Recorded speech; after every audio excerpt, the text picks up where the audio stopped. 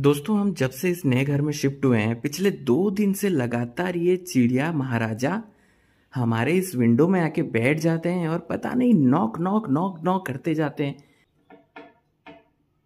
ओ brother क्यों knock knock कर रहे हो यार?